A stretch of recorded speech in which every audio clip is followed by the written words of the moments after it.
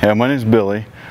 Uh, when, I started working here several years ago, uh, Michelle asked me if I wanted to put one of Charles's chain hangers on my truck, and I'd never, I didn't know what she was talking about. I said, "No, I got, I got one on here. That's, it's fine."